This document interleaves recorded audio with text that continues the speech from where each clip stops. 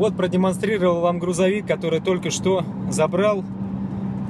У человека с очень большим сердцем и душой, у мецената по имени Игорь, который позвонил вчера и сказал, Глеб, я понимаю, что вам нужен, фонду нужен э, грузовик, пожалуйста, у меня есть такой, приезжайте, забирайте. Грузовику всего год, японский, хина.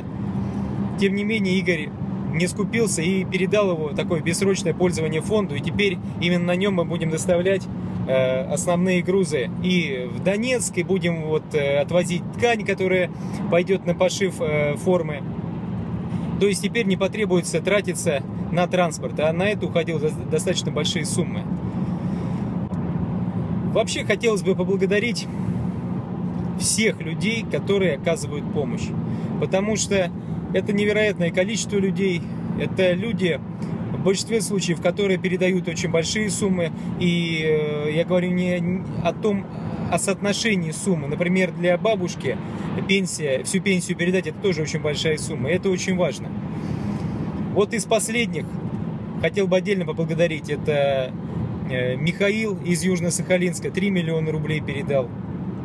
Вот Игорь передал грузовик стоимостью более 3 миллионов рублей. Плюс, и плюс дал еще 100 тысяч, говорит, вот на закупку термобелья и вообще на обслуживание машины. Э, вчера также принес человек миллион рублей на наш склад и попросил, чтобы это все пошло исключительно на детей, либо на закупку медицины, так мы и поступим. 50 тысяч рублей вчера человек э, передал. И вообще идут постоянные перечисления. И я хочу еще раз всем сказать, что все до последней копейки уходит исключительно на Донбасс. Мы ничего себе не забираем, ничего не оставляем, все уходит на Донбасс, на обслуживание работы фонда, имеется в виду тоже исключительно все, что работает на Донбасс, я имею в виду транспортные расходы и тому подобное. Э, хочу отметить вот что, что за три, три, три месяца работы э, вот наш фонд э, пришло почти 25 миллионов рублей. Сегодня, наверное, это уже сумма 25 миллионов. я могу вам э, с полной ответственностью сказать, что ни один политик ни копейки не перечислил. Ни одна политическая организация, никакие там ФСБшники и так далее, официальные лица, никто ничего не перечислил. Все приходит. А, и, конечно же, товарищ Сурков тоже ничего не перечислил. То есть это, те, это тем людям отвечаю, которые там э, пытались впаривать, что наш фонд это проект Суркова.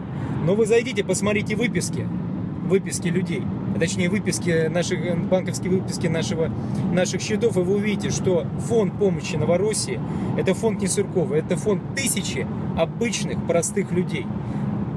Со всей России, причем и со всего мира, потому что приходят со всего мира переводы, очень большие. Единственное, что меня очень коробит, э, вот эта вслух э, фраза простые люди. Это как раз не простые люди, которые присылают. Это простые люди непростой судьбы. Потому что вот в такие вот тяжел, в тяжелые для Отечества времена именно вот такие простые в кавычках люди и встают на защиту своего Отечества. Кто, кто встает под ружье, я говорю об ополченцах Новороссии, а кто, а кто обеспечивает тыл? Потому что без нашего обеспечения, без крепкого тыла но ополченцам не выдержать этой войны и не победить никак. А сейчас, сейчас, сейчас зима. Это э, нужда в продовольствии, в обмундировании, в теплых вещах. Э, к нам последние дни часто приезжают на склад ополченцы. Ну вот я выкладывал видео. Они приезжают в летнем обмундировании, им холодно, они приезжают в каких-то непонятных кроссовках.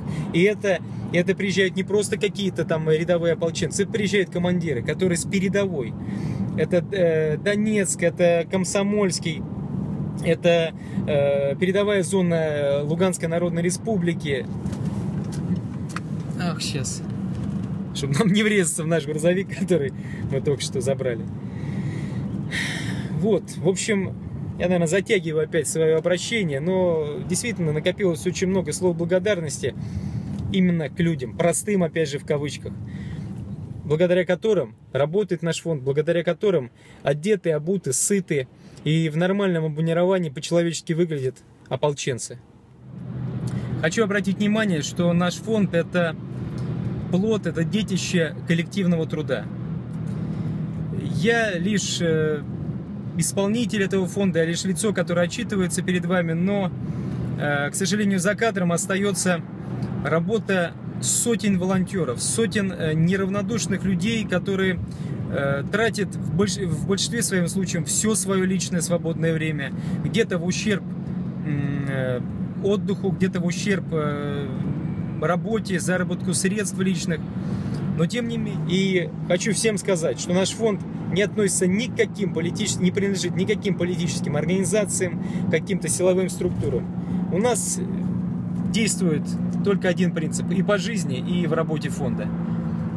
Ни за кого и ни с кем, кроме своей совести. Всего доброго за Донбасс. Главком, главком по транспорту Опол... Практически уже ополченец, военный водитель. Ну как тебе, а? Как грузовик? Хороший грузовик? Нормально. Ну все. Ой. Игорь, еще раз огромное спасибо вам за этот грузовик. Он, конечно, не позволит нам перевести оперативно все грузы, нам где-то нужен там 40-50 кубов, но это огромная помощь. Это э, грузовик, который перевезет очень много товаров, э, обмундирования и всего, что необходимо ополченцам. Пользуясь случаем, если у кого-то есть возможность предоставить не в подарок, нет, просто в, во временное пользование грузовичок э, э кубатурой 40-50 э, кубометров – это была бы огромная помощь для фонда, потому что мы бы смогли тогда одной машиной сразу большие грузы со всего центрального склада нашего отправлять э, на Донбасс. Все, на этом прощаюсь. Честное слово, удив... удивляет доброта и отзывчивость русских людей. Всего вам доброго.